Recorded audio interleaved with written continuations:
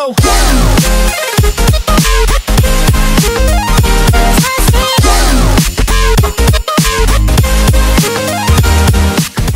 I need in life is just someone to bring me Starbucks and pizza, and I would be happy. Not that hard. Hey guys, welcome back to my channel. So today is going to be a makeup tutorial on this look right here. I used the new Anastasia Self-Made palette. I've been playing with it a lot the past week since I've gotten it. And I know I've shown a lot of looks on Snapchat, but I wanted to do a tutorial on it. And it was hard to pick which look I wanted to do because I've, like I said, been using it so much. But I went with this plum smoky eye and then I used like a little bit of a champagne color in the middle. I really hope you guys like it. I think it's really smoky and sexy and perfect for like nighttime, especially as winter comes I start to use a little bit more of cool tones. So I really hope you guys enjoy this tutorial and if you want to see how I got this look then just keep watching. So first I'm to prime my eyes with Soft Ochre Paint Pot from MAC. I actually had to buy a new one because I hit pan and ran out of my other one. I go through these a few times a year and it's my favorite eye primer. So first, I'm going to take the eyeshadow Fawn from Anastasia Beverly Hills, and I'm going to apply this in my crease as my transition color. Just back and forth, it's going to help all of the darker shades since this is a really dark smoky eye. It's going to help everything fade and look more airbrushed as you go up into the crease.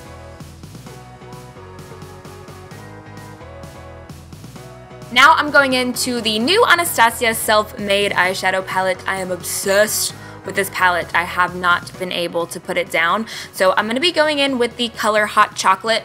It's a really creamy matte chocolate brown and I'm taking a denser crease brush. This is from Morphe. I'll link all of the brushes and everything I use down below. But I'm just going right in the crease back and forth. I'm going to start on the outer corner of the eye, bringing the product inwards. And then once I blend that product out, I'm going to add more product from the inner corner and go back towards the outer part of the crease, if that makes sense. So I'm starting from both corners of the eye, and this is just going to build up a lot of depth, a lot of dimension, making it really smoky and really intense on the entire crease from inner corner to outer corner. So now I'm going in with Metallic Plum. This is going to be the lid color and it's just a plum with a little bit of a brown undertone in it and I'm just applying this all over the lid all the way up into the crease. I always prefer synthetic lid brushes. I feel like they pick up more product and it doesn't get as soaked into the brush. So this is a synthetic lid brush and it's from Morphe's Gunmetal line. And then I'm going to go back with a little bit more of hot chocolate just to kind of fuse the lid color and the crease color together. And it just helps everything look a little bit more effortless. So now I'm going to take the color Pink Champagne and put it right in the center of that eye. This just adds a whole nother dimension to the look and it makes the center of your lid pop. It makes the plum color look a lot more foiled and more dimensional and I love, it just reminds me of holidays and I love the way that it looks. And now I'm going to add a little bit of mascara and then we'll move on to the face and then come back to the eyes.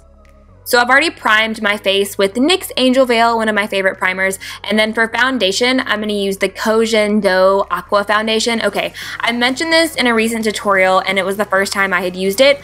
I have been using it every day since. Like, I have not used any other foundation.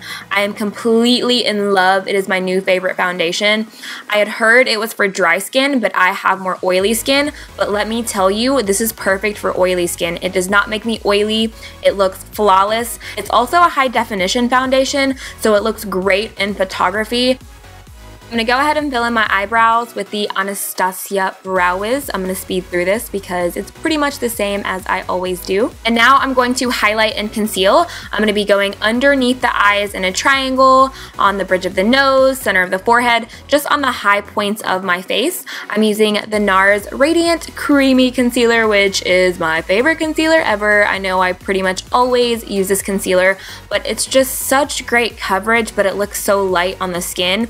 And I love this color. I use the color Custard and it just matches my skin tone perfectly. It's just a little bit lighter than my skin tone, so it just highlights that area, but it's not too bright. You know what I'm saying? Like, I don't want a white under eye. I just want it to be a little bit lighter than the rest of my face, so it kind of creates an instant eye lift and highlights other parts of the face that I want to stand out. Then I'm to take the Laura Mercier translucent setting powder and put it on my beauty blender just to bake my face and let that set for a little bit. It's just going to make sure your concealer doesn't budge and it makes everything look even more airbrushed and even more flawless. So while that sets, I'm gonna move on to lashes. I'm gonna be using the Koko Goddess lashes. These lashes are so dramatic and so fun. They're one of my favorite lashes ever. If you've ever used the House of Lashes Iconic, they're very similar, but a lot cheaper in price. So if you're looking for a cheaper alternative, I definitely recommend these.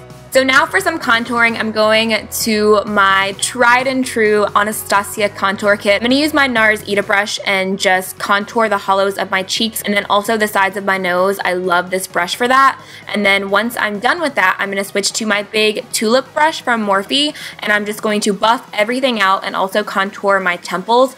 And I love using this two-step method with two different brushes because it just makes everything look a little bit natural. Sometimes the Ita brush can make everything look a little bit harsh because you get a really defined line. Then I'm going to be taking NARS Luster Blush and I'm going to be applying this right above that contour. This is a really pretty apricot shade. So to finish the eyes, I'm going to be taking a black liner and applying it in the waterline. This is the YSL Black Eyeliner Kohl. I got this in a little Sephora perk a while ago and oh my gosh, it is so black. It's even blacker than the Buxom one that I usually use. So I'm going to go back to that hot chocolate color and use a pencil brush and start buffing this on the lower lash line. I really want to smoke out the lower lash line and bring it down a little bit farther than I usually do. So I'm going to take hot chocolate back and forth, really smudging that lower lash lash line downwards. And then I'm to go back to my crease brush and add a little bit of that fawn shade from Anastasia and bring it even lower. I want it really grungy and really dramatic. I really want my inner corners to pop, so I'm to go to MAC Nylon, my favorite inner corner highlight, and pack that on the inner corners.